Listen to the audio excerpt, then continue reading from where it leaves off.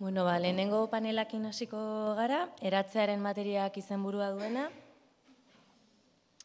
Empezaremos presentando la primera comunicación de Xavier Jasso Esain, después le seguirá Marta Pérez y después le seguirá Guillem Palán Osas. ¿vale? Entonces, compañero, bueno, que ha preparado la comunicación junto a su compañero Miquel Domene Chargemi. Eta, bueno, recordar que tenemos 15 minutos, ¿vale? Y luego tendremos tiempo para el debate. Mi esker. Egun eta esker guztioi eta baita ankulegiko eh, bazkide eta antolatzaile guztiei. Eh, voy a hacerla en euskera, la comunicación, pero brevemente unas palabras en, castellano, entre otras cosas para que los compañeros y compañeras de, mesa sepan de qué voy a hablar. Eh, esta comunicación tiene que ver con un trabajo de campo que estamos realizando actualmente en un grupo de antropología popular que se llama Ciaroa, que hemos creado en Iruña, en Nafarroa, el año pasado y tiene que ver con eh, ese espacio prototípico, que lo sigue siendo, que nos acerca a la materialidad de, la muerte, que es el, que es el cementerio, pero eh, llevándolo hacia una reflexión que tiene que ver con el cambio que ha habido en la utilización de, materiales y de la agencia de esos materiales a lo largo de las últimas décadas en un cementerio, en este caso como es el de Iruña, en el cual ya es el 80%, eh, digamos, el porcentaje de incineración de cuerpos. Esto lo, relacionamos un poquito pues, con el juego de palabras que en euskera existe con arritazur, zuretalur, que literalmente es piedra, madera, madera y tierra, y que tiene que ver con, el asombro en general, con ese concepto que incluso lo podemos relacionar en antropología con el extrañamiento. Eta hau esan da, ba, basiko, hasiko nez, eta moztu denborari dagokionez e, gupidari gabe behar, behar denean, ederki. E, esan bezala, ba, aziaro, herri antropologia taldeak e, proposatutako e, azterlana, da ba, aurten egiten ari garena. Eta talde hori ere bat autonoma da, ez du inolako e, zeharik, e, loturarik inongo erakundeak akemekorekin, baina liberean e, zatasun zientifikoa eta eraldaketa soziala uztartuta antropologia egin daitekela aldarrikatu nahi dugu. E, ongi dakigun bezala, antropologiak hainbat ikuspegitatik ekin dio hilerrien ikurkuntzari, e, erritua, erligio simbolismoa, ondaria, memoria, historia, deigarria zitzaigun, hiri antropologian bintzat, e, ba, disiplinak ez diola, arreta berezirik eskaini, akaso akademiak eta jendarteak berak, hilerria iritik eta iriko dinamiketatik kanpoko elementutzat e, jotzen dutelako. Dena den ezin da esan jondik inora antropologiak egun hauek bazerrean utzi dituenik. Ez da inarrunta sortatu ordea, hilerrien funtzio nagusitako bati erreparatzea, hildako giza materia organikoaren kudeak eta ze ari gara.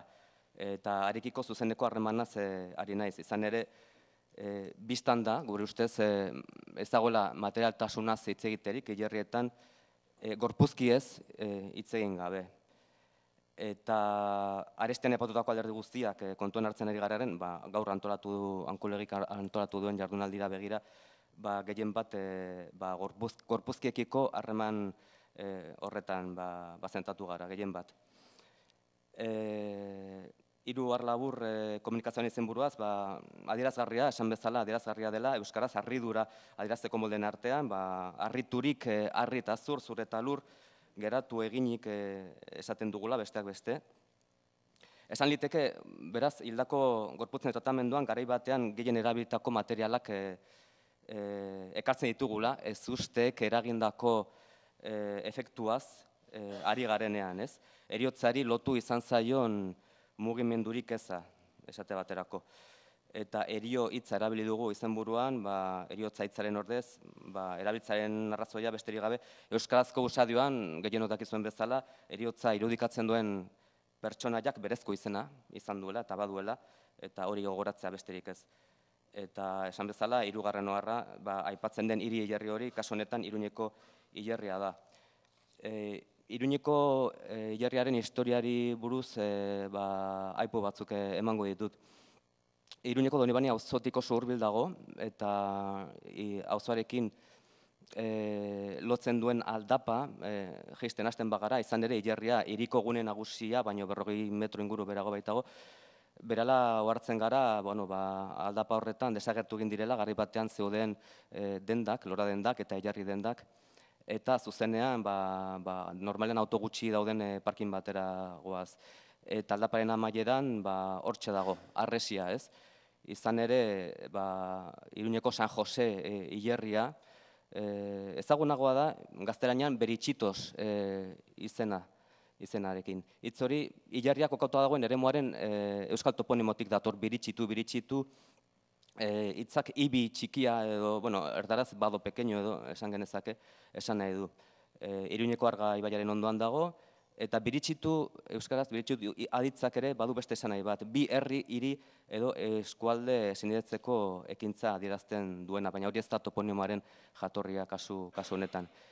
E, historiaren inguruan beste kontuan hartzeko moduko beste datu batzuk. E, Gazteizko Santa Isabel Ilerria bezala, ba, iruñekoa emeretzegarren mende hasieran eraiki zen, eta mila zortzion eta zortzian, e, horzketak e, hiri barruan eta alizetan egitea debekatzeko ba, monarkia espainiarrak ezarritako araudi berriarekin batera, lehen horzketak eh, egin ziren. Garai hartan Europako beste hiritarri askotan egin zen moduan hilotzak elitzen ondoan lorperatzeko ohiturak eragiten zituen osasun arazoak, eh, osasun arazo gero handia goi aurre egiteko neurria izan zen. Iruñan orduan ehunka metro zuden bizidunen arresizko hiriaren eta hildakoen arresizko herriaren artean, esan bezala berrogei metro berago ze iriko iruñeko arresia, alde zarren guratzen zuen arresia, ze iruña emeritzi garren bende hasieran alde zarra eta eta gehiago etzen, begia esan. Etzen eraitsi mila beratzen da mabos garren urtera arte, eta pizkanaka iria hilerria iritsi, eta inguratu ere egin zuen hiriak hilerria, baina perimetro urbilenean aldaketan dirik eh, eragin gabe. E, esan par dago, hilerriko arresiak e, noski ba, zutik dirauela, eta ez dagoela ura botatzeko asmorik. E, ekudeaketa, e, jarraren ekudeaketa udalak hartu zuen mila beratzen da goita sortzian. Eta handitzaren, espazio handitzaren beharrak e, nitxoen erakuntza ekarri zuen. Gero, laro barreko amarredaren amaiera arte, hilarriak espazio arazoak izan zituen, etengabe.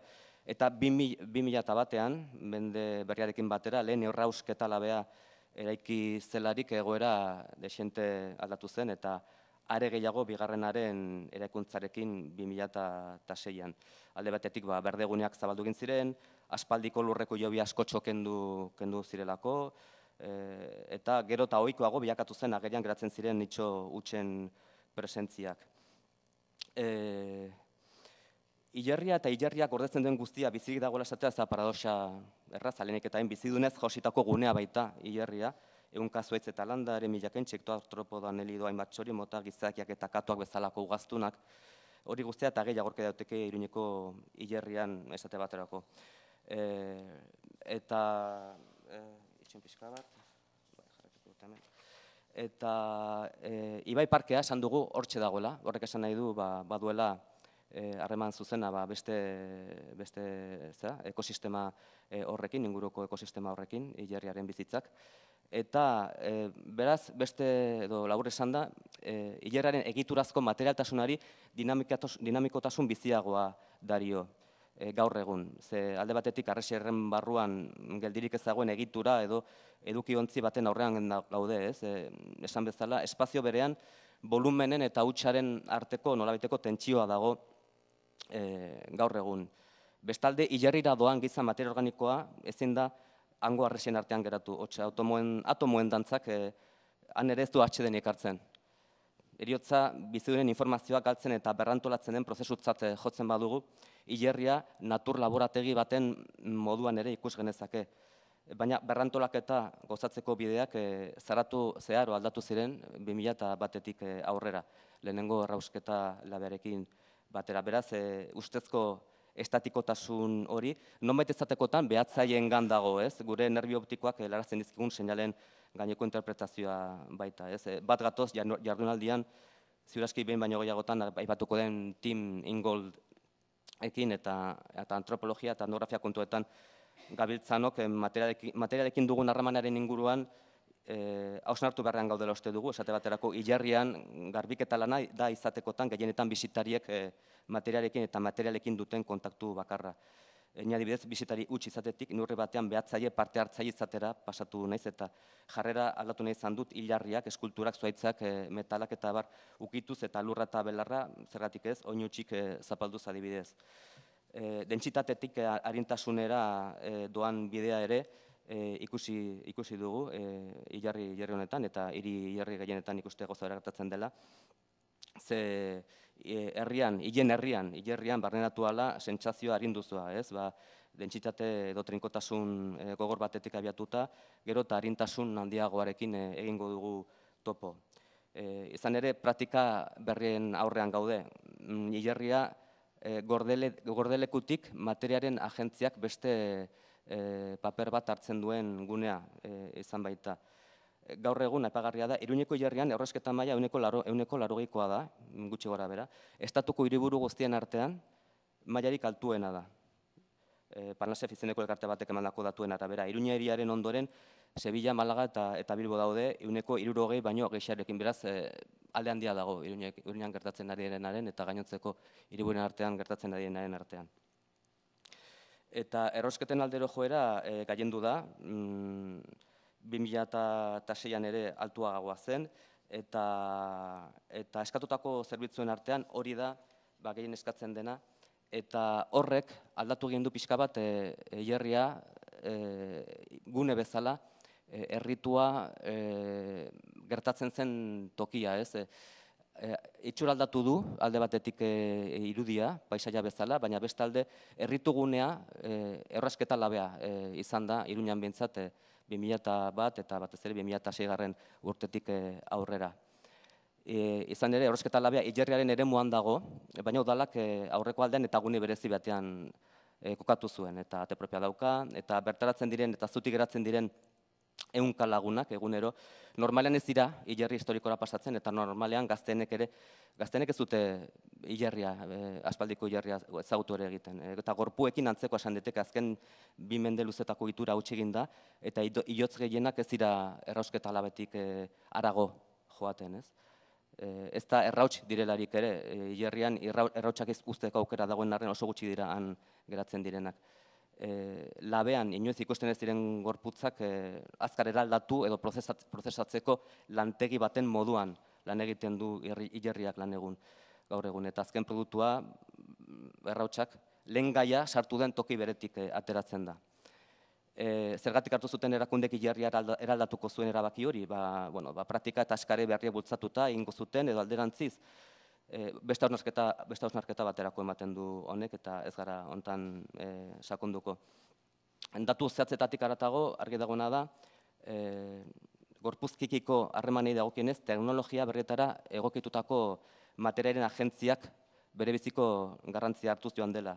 Sugarrek minutu edo ordu gutxiren buruan eraldatzen dute gorpua.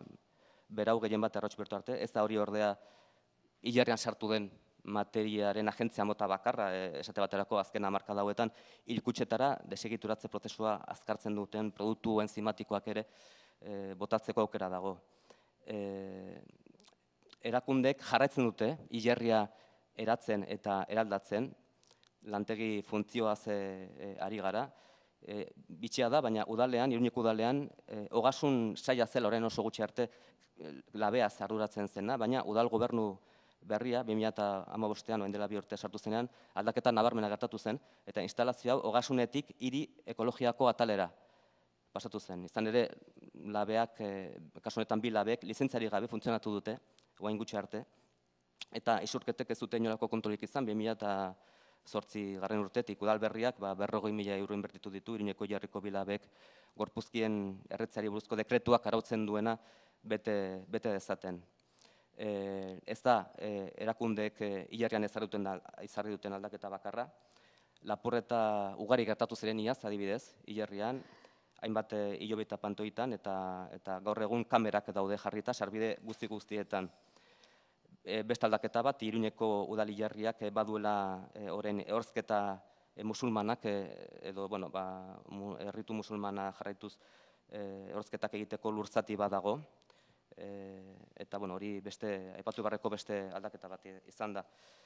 E, Ingold, Tim Ingold, e, aipatu dugu, izan ere, bueno, zenbait egilek pentsamendu komplexuaren edo eta komplexutasunaren teoriaren ikuspegitik aipatu dute, edo zen hilerrik sistema oso bat osatzen duela, ez? Eta, bueno, ba, kasu honetan, hortik e, jotzen badugu, jein benetekin topo egingo genuke, ze benetek mihiztaduren agentziaz, e, la agencia de los ensamblajes, erdaz esango gunek hitz egiten du, Bibran Matza, e, Political Ecology of Things, liburuan, arena bera, mihiztadurak eragiten dituen efektuak zerbait egin almena duten propietate sortu berriak edo emergentiak dira. Mihiztadurak e, e, kontuan hartu beharreko ba, elementuak e, izango lirateke. Eta temingolen arabera ordea ba, gauzak aktiboak dira, ez agentziaz bai daudelako, bezik eta bizitzaren munduko korrontetan harrapatuta daudelako eta hildonetan naturaren eta kulturaren arteko muga onartzen ez duen egi honentzat antropologiak eluke gizakia bakarrik ikertzeko e, disiplina izan, izan beharko uste dugu egi hauen ekarpenak bizik interesgarriak direla. Bukatzeko, e, galdera ireke batzuk eta osnarketarako proposamenak, galdera irekiak, ba, e, esan bezala, zenbaitek e, esan badute ilarria sistema konplexua dela, eta beraz, espazio horietan osotasunak e, zatien batuk eta baino gehiago baldin bada, zein dira hainbat aldagi biltzen dituen gune horrek hartzen dituen ezaugarri propioak. Eta zelekus dute sistema hortan materiaren ustezko agentziaren alde berriek. E, beste galdera bat zenolako ahalmena du neomaterialismoak, eh, edo neomaterialismoa oinarri duen ikuspegiak gaur egongo antropologia zabaldu eta garatze aldera. Eta osnarketarako proposamenak, e, bi besterik ez, e, hiri hilerriak trantsizio edo er, eraldaketa prozesu batean dauden honetan aukera opareak zabaltzen dira, gure ustez ikerkuntzarako. E, arritik arrira itzuliz, e, asierara itzuliz beraz, itxurazko arri trinko eta sendotatiok abiatu zen bilakaera jarraituta edo, uste dugu antropologian eta materiarikeko harremanei dagokienez harri garritasun e, eraberritu bat, harri garritasun edo bezala ulertuta e, berreskuratzeko aukera dagoela eta ez bakarrik hilerrietan eta bestelako eriotzagunen inguruan ari garenean. Izan ere, zientzia eta batez ere nanozientziari esker eta, bueno, esan behar dago donostean gaudela eta hemen dagoela nanogune zentroa, Gaur egon badakigu gure egitura, gurea, hots materiaren egitura, Euskal Herriko eta Europako hiri jerriak eratzen hasi ziren e, arbasoek e, uste zutenaren oso bestelakoa dela. Eta horri esker, arekiko, gurekiko harremanetan, materialikoko eh, harremanetan benetako iratza, irautza gertatzen ari dela. E, antropologiaren eta materia ekargai duten zientzien arteko elkarlana, inoiz baino beharrezkoa eta garrantzitsua dela uste dugu gure ustez. E, Horengoz besterik ez eta esker mila zuen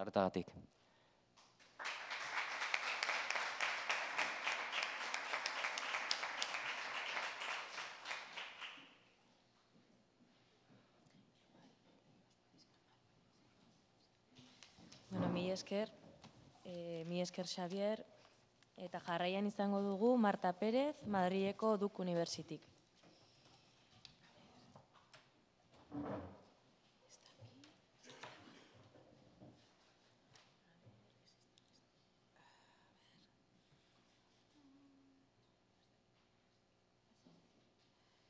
Eh, hola, buenos días. Eh, bueno, todavía igual no lo ponemos, ahora lo pongo. Eh, bueno, una advertencia sobre el PowerPoint no es para leer ni nada, son todos documentos burocráticos muy aburridos, simplemente lo traigo para, para, que se vea cómo son los documentos, ¿vale? Porque asusta un, pelín.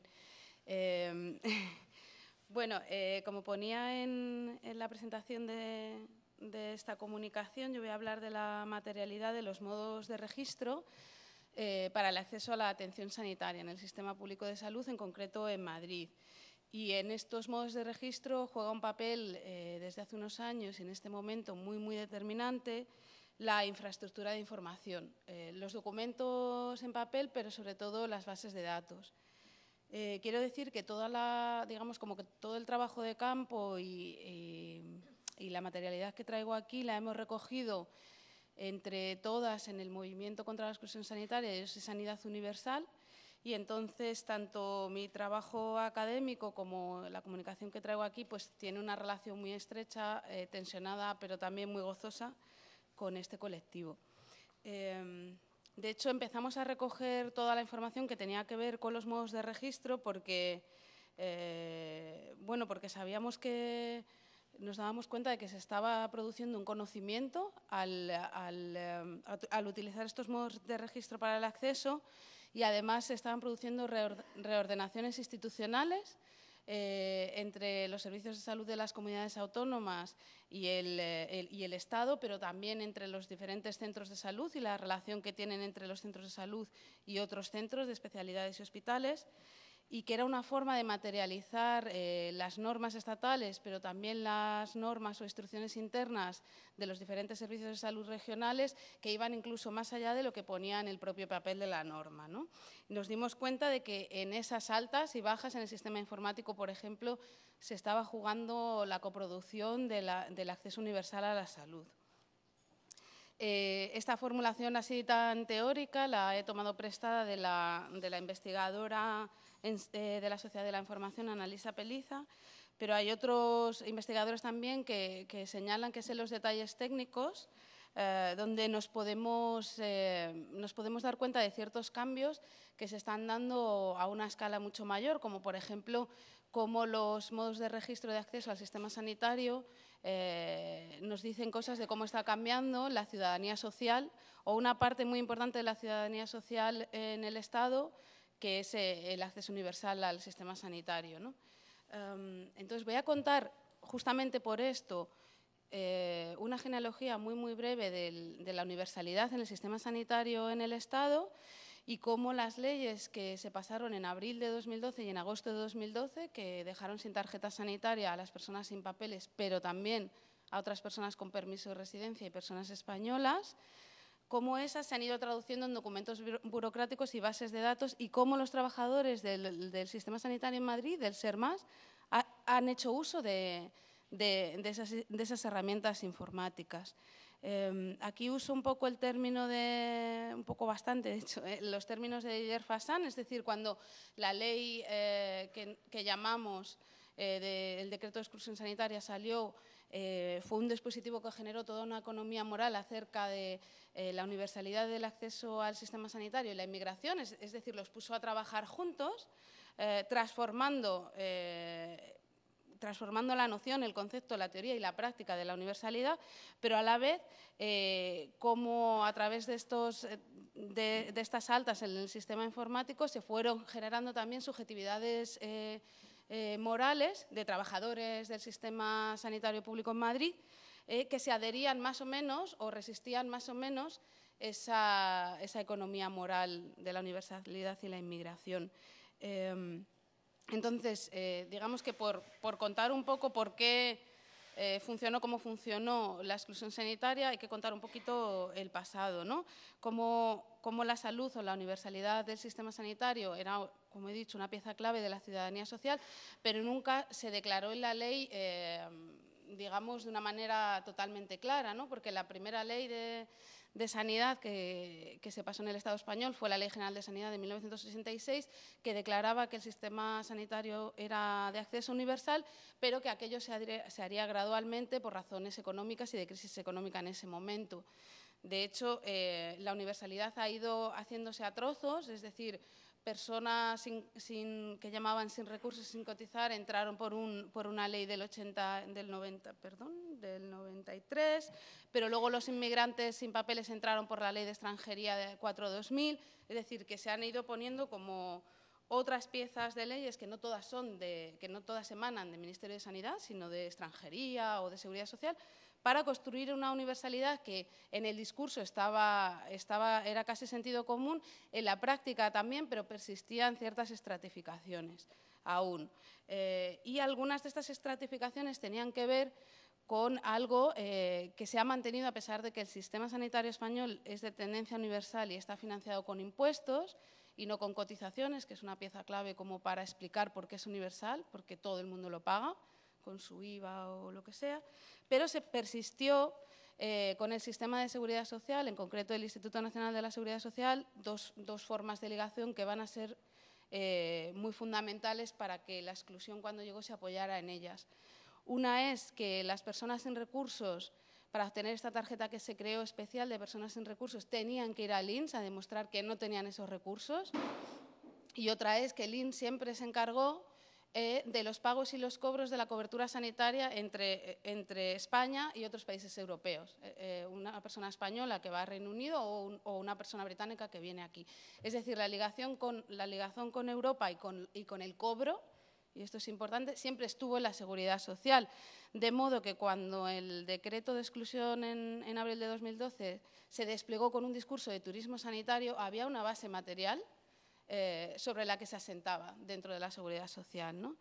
Em, entonces, en este, digamos, en este contexto, em, llega el, decreto de exclusión sanitaria y, el decreto de aseguramiento, eh, llamado de aseguramiento de agosto, y se encuentra eh, y despliega un discurso que dice que para mantener la universalidad de la asistencia sanitaria hay que, hay que contener cuántos grupos entran, es decir, una especie de, digamos, de paradoja que luego se hace muy real en, lo material. Eh, también se apoya en un discurso modernizador de modelo europeo, europeización y racionalización de la asistencia sanitaria y en el turismo sanitario, por supuesto.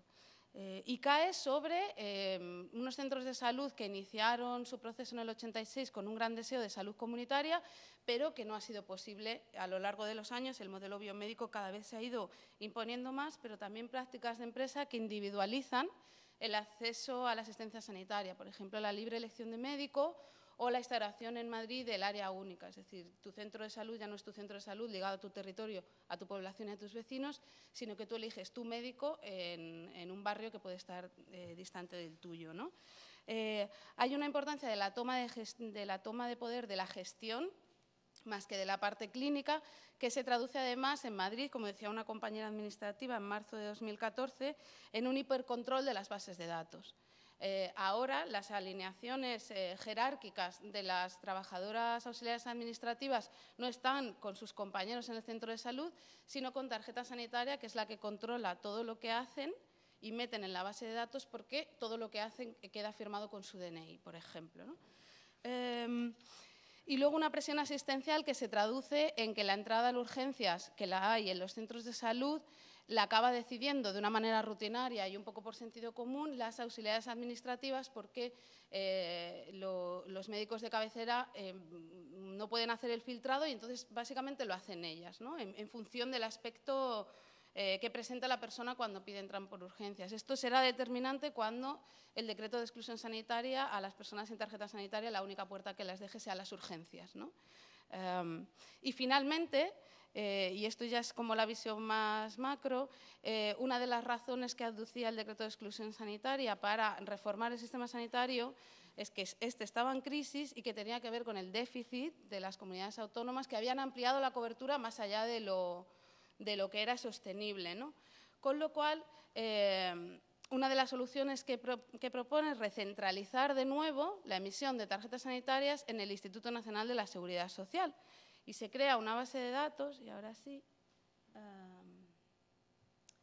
que es la base de datos más grande en España, se llama BADAS y cruza datos de extranjería, de Hacienda, de Seguridad Social eh, y de ingresos eh, en una base de datos que determina quién tiene o no tiene acceso a la asistencia sanitaria y cuánto tiene que pagar por los medicamentos. Eh, en una entrevista que tuve con, con, una de las personas del INS que está encargada de prestación sanitaria, por un lado comentaba que esta base de datos había universalizado el sistema sanitario porque todo el mundo estaba ahí, porque era la base de datos más grande que había en España, pero sin embargo las categorías que quedaban fuera, las respuestas que, me daba esta persona eran eh, reflexiones morales, que nos pueden parecer mejor o peor, pero claramente si comparamos uno y otro verbatim. Eh, uno es técnico, el reto es el sistema informático, el reto, el reto, de esta ley no es la universalidad, no es un problema político, no es un problema de organización del cuidado y la protección social, sino informático. Y, sin embargo, las categorías que quedan fuera se empiezan a deslizar en valoraciones morales sobre estos grupos, sobre estos grupos sociales. En Madrid, eh, como en muchas otras comunidades autónomas, para toda la gente que ya no tenía tarjeta sanitaria, se creó un programa especial que, en el caso de Madrid, eh, se redujo a una instrucción interna, nunca adquirió el rango de norma, pero es una de, las tantas instrucciones internas que tienen que ver específicamente solo con bases de datos que hay en el Estado español. Este es un cuadro que hicimos que muestra la proliferación de normas, instrucciones y reformas en los sistemas informáticos de los servicios de salud regionales que ha habido después del decreto de exclusión. Son dos paginitas. Eh, Ahora voy a Madrid y, voy a comentarlo muy brevemente, así entrando en harina. El, el SERMAS emitió una instrucción que es esta que podemos ver aquí, antes de que se retirara la tarjeta sanitaria a la gente, el 28 de agosto de 2012, el 1 de septiembre se retiraba, eh, que se refería básicamente a cómo se registraba en SIP Cibeles, que es la base de datos del SERMAS, a las personas sin tarjeta sanitaria. La instrucción era bastante clara, creaba una, alta en el sistema informático que se llamaba TIR, que con un padrón y con el pasaporte eh, te la tenían que dar, te asignaban un médico, pero no tenías medicación. Sin embargo, este, este alta ha sido objeto de una lucha eh, de negociación en cada uno de los centros de salud y hospitales de Madrid. Primero porque esta instrucción, que da un derecho, como veremos un poquito dos segundos después de esto, eh, no, se, no, se, difundió de forma masiva, simplemente se mandó por email y se guardó en una intranet y no se hicieron cursos ni nada, de modo que mucha gente no la conocía y entonces mandaban a la gente a su casa. Pero a la vez hubo toda una proliferación de conversaciones eh, internas entre auxiliares administrativos, médicos, tarjeta sanitaria, eh, aseguramiento, asistencia sanitaria, en la que se fueron creando procedimientos propios para usar esta instrucción. Por ejemplo, en un centro de salud pedían que el médico escribiera eh, un informe médico para luego subirlo a tarjeta sanitaria, que lo aprobaran y entonces se diera el alta algo que no aparece en esta instrucción en ningún momento. ¿no? Eh, entonces, cuando, cuando uno entrevistaba o negociaba, en mi caso hacía las dos cosas, no a la vez, claro, em, sobre por qué se habían creado estos procesos, empezaban a aparecer todos estos eh, eh, razonamientos morales que, se agregaban a la norma y básicamente creaban, otro procedimiento. Por ejemplo, eh, era muy bonito para ser verdad la universalidad, esto ya no puede ser así, y no podemos dar el TIR a todo el mundo porque estaríamos otorgando un derecho. Es decir, que en el propio discurso de las personas el alta informática era, un derecho. Bueno, hubo una lucha eh, justamente porque eh, las personas que luchaban contra la exclusión sanitaria se dieron cuenta de que era en la parte burocrática donde estaba, donde estaba la lucha por el derecho y entonces se crearon documentos como estos para explicar a las sociedades administrativas cómo usar la base de datos para dar estas altas o cómo imprimir, cómo imprimir este alta para que la persona se fuera con un papel sabiendo que eso se ha hecho, ¿no? Mm, porque claro, una base de datos tú no la ves, la ve la otra persona que está en el otro ordenador. Em, después de esta lucha y además de las elecciones regionales de mayo de 2015 y además de una, de una desligazón en el discurso que venía desde el Gobierno central del, decreto de exclusión sanitaria con los sin papeles, ya se empezó a decir que los sin papeles deberían tener atención primaria y demás, eh, la Comunidad de Madrid creó un nuevo alta, que se llama el Altadar, en esta ocasión explicando cómo se da en el ordenador, en esta ocasión sí, ahí podéis ver. Eh, y eh, es un alta que básicamente permite casi todo, también medicación, derivaciones especialistas. Es un alta que, aunque no lo dice de forma bastante regular, eh, nos dicen en los centros de salud que, es el alta que se ha hecho para los de la patera, de modo que ahora, eh, a través de, de, las formas de registro, tenemos un sistema en Madrid, un sistema o un programa humanitario para los de la patera, pero quedan excluidos eh, otras personas que tienen permiso de residencia, que no son estas personas sin papeles para los que ya se ha arreglado en el sistema informático, y que nos dicen un poco de por dónde va eh, lo que se ha quedado de la reforma sanitaria. Porque las personas ahora mismo que están excluidas con permiso sanitario, la exclusión tiene que ver con cuándo llegaron, qué familiares tienen, qué ingresos tienen y cuál es su estado de cotización y están individualizadas, es decir, es casi un examen caso por caso, de modo que la ligazón en estructuras colectivas de exclusión es mucho más invisible y eh, digamos que la solución que se les propone es un seguro privado.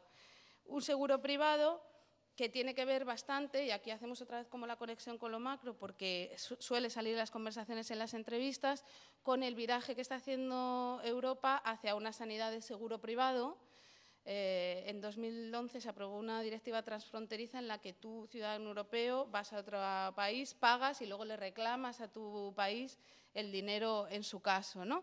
Eh, Y digamos que esta exclusión es mucho más compleja porque no hay ninguna alta creada eh, y porque se asocia de una manera, digamos, más de sentido común con el, con el turismo sanitario. De modo que con esta pequeña y un poco apresurada eh, bueno, presentación sobre las altas, simplemente terminar diciendo que sin, sin, este estudio tan pormenorizado de lo, que de lo que está ocurriendo en el ordenador, que nos decían que eh, normalmente casi todas las personas dicen que el ordenador dicta el derecho, no nos hubiéramos dado cuenta de cómo la exclusión juega, eh, juega de esta manera. Y con esto ya.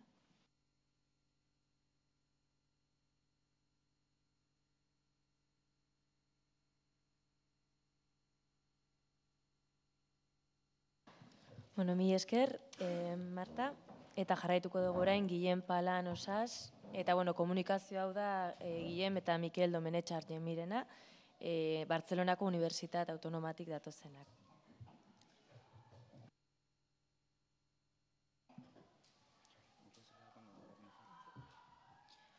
Hola, buenos días. Eh, yo lo que os voy a presentar aquí es la parte final de mi tesis, que estamos trabajando con, mi director Miguel Domenech.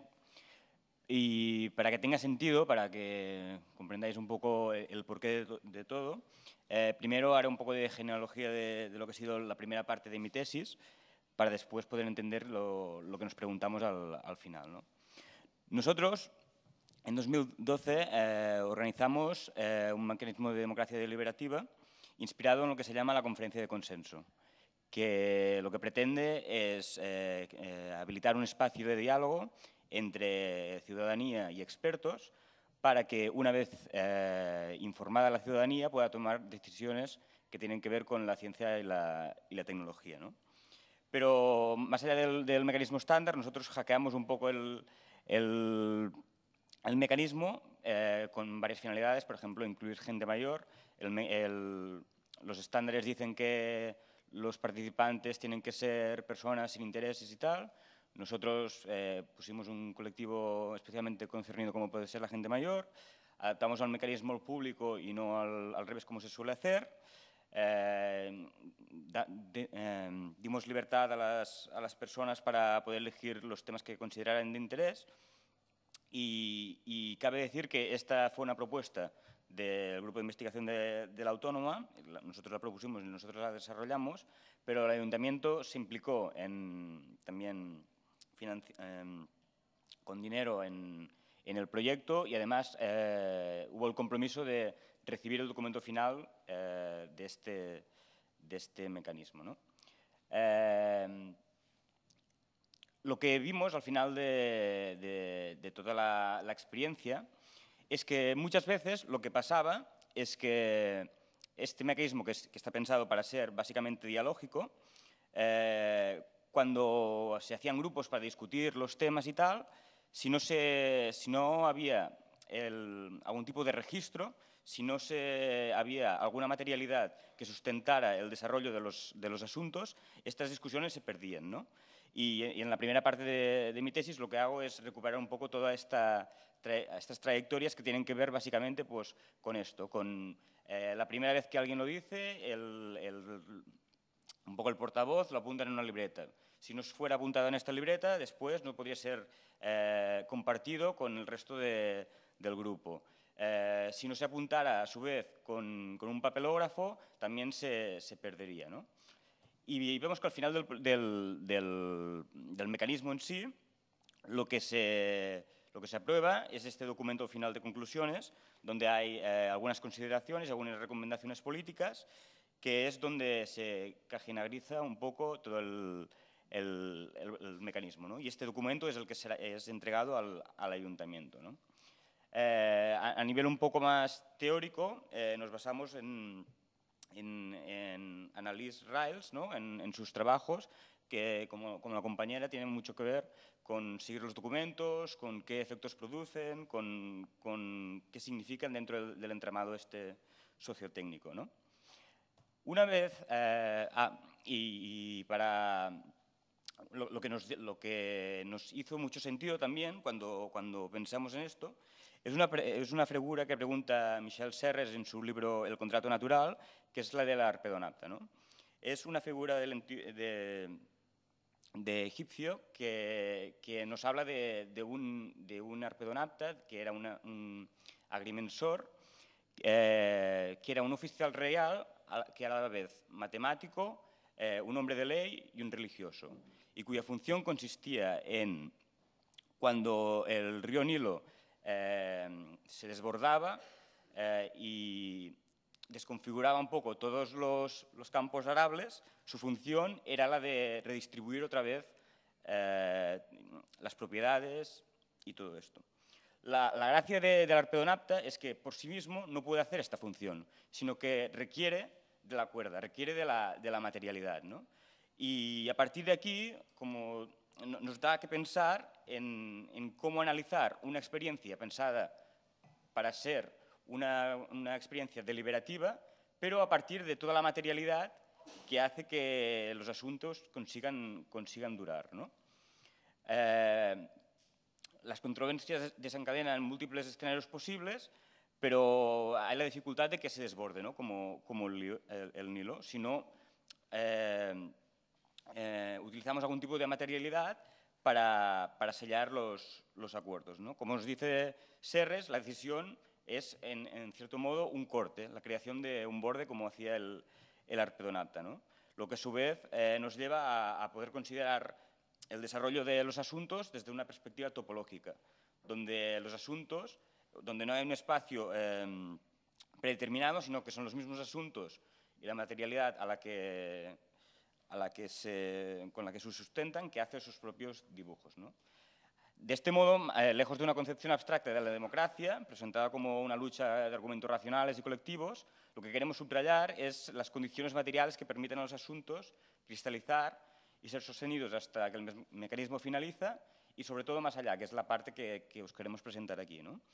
Más allá de una vez eh, hecho el documento y presentado al ayuntamiento, lo que pretendemos explorar es cómo se traduce el documento final de recomendaciones políticas en políticas públicas concretas. ¿no? Hay muchos autores que, nos dicen que no, hay una conexión muy fuerte entre lo que se, es informado por los ciudadanos y después las, las decisiones que se terminan tomando. ¿no? A modo topológico también vemos que este documento, que fue presentado en, abril de, 2013, eh, primero fue presentado en lo que se llama el Consejo Asesor, que es eh, un, ente de participación que reúne gente, mayor de, Barcelona para informar también políticas públicas, y más tarde fue presentado en lo que se llama la, Convención de las Voces de la Gente Mayor, que es como el, acto que recoge el, trabajo de dos, tres años del Consejo Asesor para después hacer como un informe y eh, hacer las políticas públicas que en este caso, eh, las que tienen que ver con la gente mayor, se recogen en el plan municipal de la gente, de la gente mayor. ¿no? Nos dice un, técnico del ayuntamiento que él recuerda que cuando se presentó el documento en el, en el Consejo Asesor, la valoración fue bastante positiva e, e interesante. ¿no? Eh, pero en cambio, el otro, otro participante que participó en la conferencia y a la vez era miembro del Consejo Asesor y presentó el documento allí, dice nada, cuatro líneas, hombre, diciendo que el documento y tal, pero nada más, pero como información. ¿eh? Después, eh, el, mismo, el, mismo, la misma persona, que también lo presentó más tarde en la convención, también dice, sí, lo presenté con diapositivas, fotos, pero allí se quedó y el, técnico del ayuntamiento nos dice que en las conclusiones de esta convención no se recogió ninguna de las eh, propuestas que se hicieron específicamente en, el mecanismo. Lo que vemos es que después de todo, después de este, este mecanismo y las formas como, como influyen las políticas públicas, es cero, ¿no? que en, en, el plan en sí no apareció ninguna referencia explícita a, la conferencia ciudadana. Entonces nos preguntamos por qué, por qué pasa esto. ¿no? Y, más allá del documento, eh, preguntamos a la gente sobre cómo es el funcionamiento del Consejo Asesor, cómo es el funcionamiento de, la convención. El funcionamiento del Consejo Asesor, básicamente lo que, lo que se constata es una falta de motivación, ¿no? porque es lo que dicen, es solo asesor, no nos hacen caso. ¿no? eh, no es ejecutivo y muchas veces nos cansamos. ¿no? Aquí pone, por ejemplo, está hasta las narices porque para, para esto me, me, quedo en casa, ¿no? como la idea de que después de todo que no, no, hay como un feedback claro de lo que se acepta y lo que no se acepta. ¿no? Y un poco lo mismo en, en, en la convención, que es, como, como he dicho, lo, lo, que se hace al final, cada dos, tres años, y que es lo que tiene que informar básicamente las políticas públicas. ¿no? Eh, dice, ¿y qué importa? Las voces de la gente mayor, como si fuéramos mudos. Es que al final parece una charlotada. Y al final te dan ganas de, a media convención, levantarte y decir, ¿qué pasa con el remate del año pasado? ¿Qué estamos haciendo? ¿no? Eh, cuando pensamos en esto, eh, nos, nos, inspira muchísimo un, un trabajo que, que, presentan Denis y Pontil, que habla de, cómo se hacen los, los, los, carteles de los metros de, de París. ¿no? Y nos explican eh, muy etnográficamente y muy, muy descriptivamente que primero todo lo que se hace es un trabajo de, de ver cómo tiene que ir, porque se ve que hay como diferentes vías, todo el tema de la estandarización de, de, cómo hacerlo es muy complicado. Pero la, la, parte interesante es que una vez se ha hecho esta, esta estandarización y se cuelgan los carteles, si, no, si estos carteles no son constantemente reparados, esta materialidad eh, de los grafitis, de, de, mil cosas que pueden pasar, eh, se pone en riesgo los, cursos de acción pues, de, de, la gente. ¿no? Eh, perfecto. Y, y, mm, y, ellos constatan una, una fragilidad en, en, los modos de sostenimiento de esta materialidad. ¿no? Y nosotros intentamos aplicar esta, esta, esta visión eh, con el tema de, de, las issues, ¿no? con el tema de, de los asuntos. Eh, y constatamos estos, la fragilidad de existencia de, de, estos asuntos y lo que, lo que queremos eh, constatar es que la parte fundamental para que estos asuntos sean sostenidos, aparte de la misma materialidad, es el tema de, del cuidado, ¿no? pero no un cuidado como, como, lo hemos entendido hasta ahora, un cuidado, un cuidado material, ¿no? Eh, como creo que el compañero también ha utilizado, eh, nosotros nos fijamos mucho en, en, Jane Bennett, en el libro de Vibrant Matter, donde presenta el concepto este de, de ecologías políticas, ¿no? que pretende, aparte de, de la inclusión de, de, los discursos y de todo lo que ha sido habitual hasta ahora, también la inclusión de esta materialidad, ¿no? de estos no humanos que, con los que convivimos y los que eh, muchas veces, eh, con los que muchas veces nos ensamblamos para para producir cosas. ¿no? Y, y, dentro de, esta, de, este concepto de ecologías políticas, pues hay muchas cosas que resuenan en, en, nuestro trabajo, ¿no? como todo el tema de la precariedad, no solo durante el mecanismo, sino ya después eh, in the wild, o sea, como cuando llega a la institución, todo el tema del mantenimiento y tal. ¿no? Claro, eh, una vez llegados aquí, lo, hay como preguntas que se nos abren, ¿no? ¿Quién tendría que haber cuidado el documento? ¿Tendríamos que haber sido el grupo de investigación para que realmente se hubiera convertido en políticas públicas? ¿El ayuntamiento tendría que, hacer, que haber hecho otro papel? ¿Fue el mismo panel ciudadano? ¿O cómo cuidarlo? ¿O en qué momentos es, crucial ¿no? cuidarlo?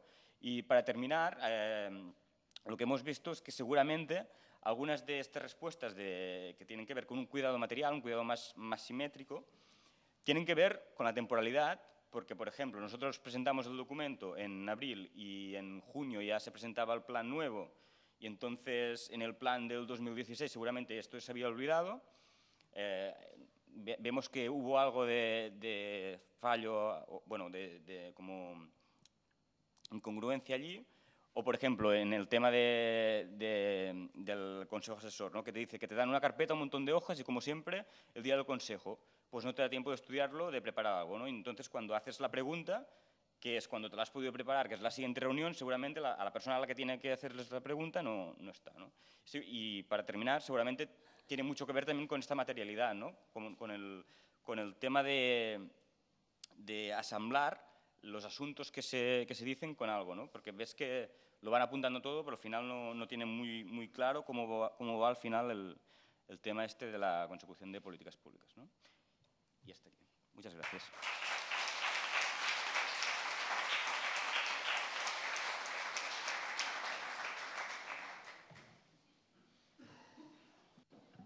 Bueno, mi esker, e, orain galderetako tartea daukagu, edo galdera, ausnarketa, edo zer, preguntas, reflexiones... Tenemos el micrófono ahí, así que...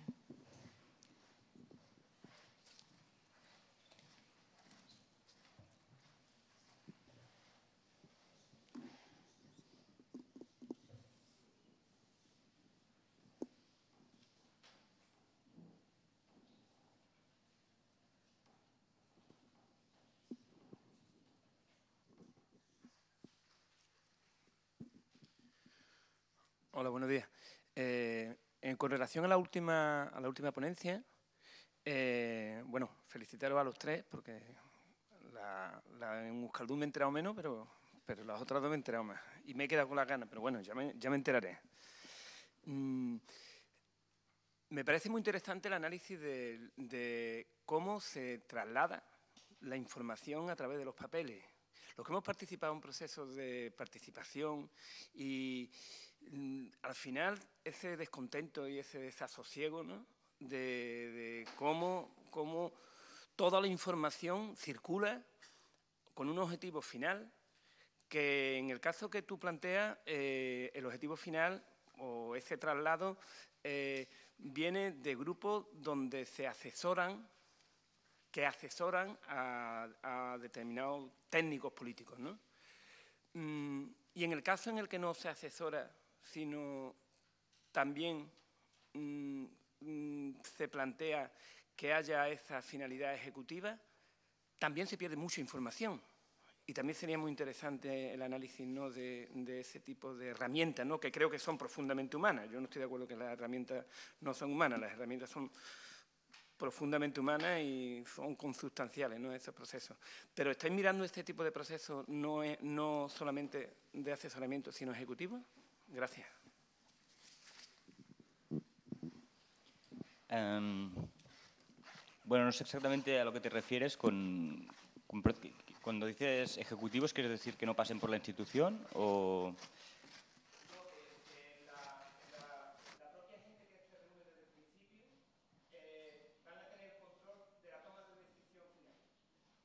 Claro, esto cuando tiene que ver con la institución nunca pasa.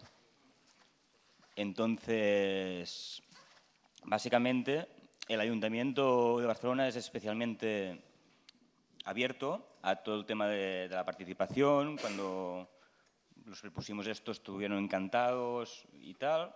Eh, hay como muchos consejos como de barrio, de gente mayor, de bienestar social, pero nunca, nunca hay el compromiso de aceptar un proceso, el resultado de un proceso participativo como, bueno, no, no, me he detenido mucho en esto, pero por ejemplo en el tema del, de la gente del, del, plan de la gente mayor, eh, se compone de tres fuentes, del, del plan de actuación municipal, de, del gobierno de turno, de las recomendaciones estas y de la evaluación del consejo anterior. ¿no? Y entonces aquí, aquí se crea como un, una nube ¿no? que con, con todos estos inputs al final se hacen políticas públicas, pero nunca está muy claro como de dónde viene cada cosa. ¿no? Por ejemplo, en, en, un, en, una entrevista nos decían, sí, yo estoy seguro que el documento de la conferencia tiene algo que ver con que ahora se hable de esto o ahora se hable de aquello, pero nunca hay una, una causa-efecto. Y no, no, nosotros al menos no hemos visto ningún proceso donde el, la institución se comprometa a aceptar exactamente lo que, lo que salga del proceso.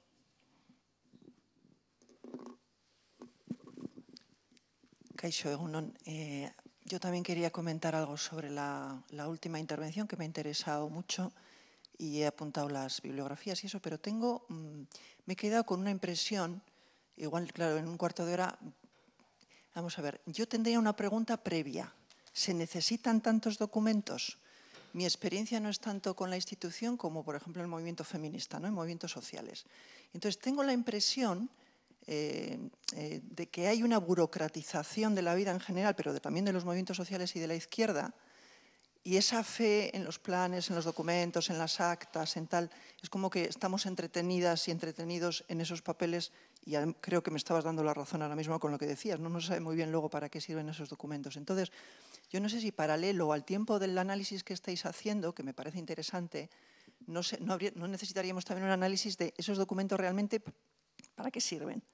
O sea, en algún caso eh, se están utilizando, incluso desde el punto de vista material, ¿no? porque tengo la impresión de que hay eso, una burocratización, que casi el objetivo en sí mismo es eso, y no tanto la política en sí X.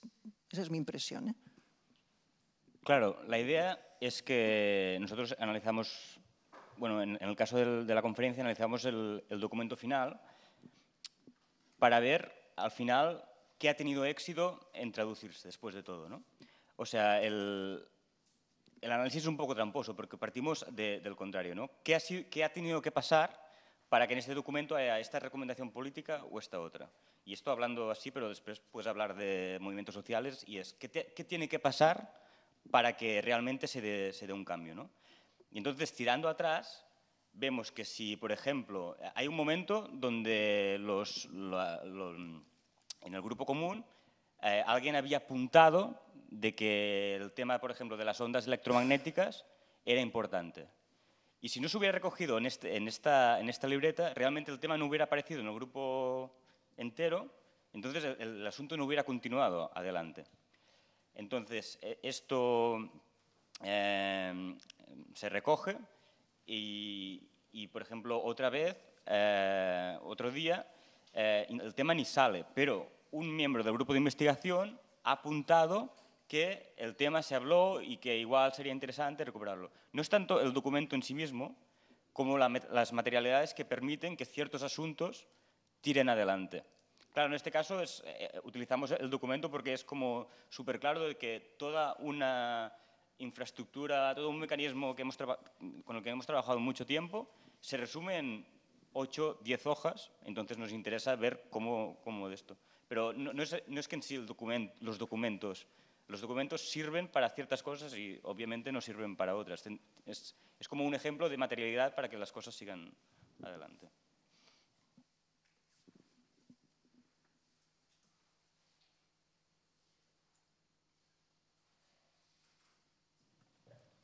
¿Cualquier otra pregunta? ¿Compartir alguna reflexión?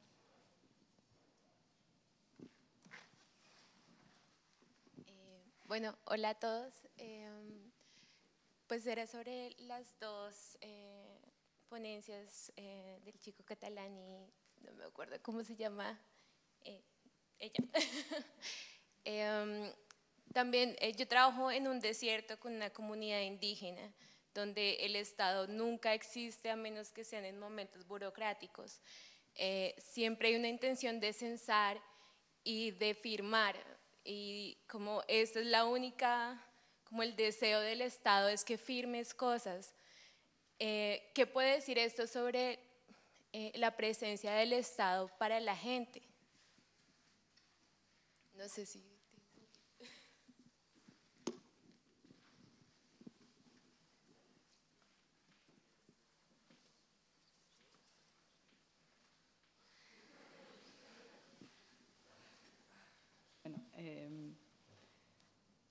Eh, o sea, respecto a la presencia del Estado para la gente en los, los trámites burocráticos, eh, puedo contestar así con, un poco de literatura, así alguna referencia y también con, una reflexión más propia. Eh, hay así como dos libros últimos de antropólogos. Uno es, no sé cómo está traducido, como En el corazón del Estado de Dier Fassan, que es como una compilación de de estudios en, tribunales, en, lugares de, servicios sociales para migrantes, en, centros de salud mental y tal, en el que, bueno, como la tesis general es que los profesionales que trabajan, los trabajadores de servicios burocráticos no solamente no, aplicarían eh, directamente la, política pública que emana del Estado, pero tampoco la crearían del cero con una total discrecionalidad, sino que, se la apropiarían de diferentes formas, de modo que ellos también producen política pública, pero no totalmente separada de lo que viene de arriba o, lo, el clima que les rodea. ¿no? Y está como muy interesante porque mirándolo desde ahí, pues es como que ellos también son Estado, que el Estado se prolifera en múltiples actores, ¿no? Y varía y demás.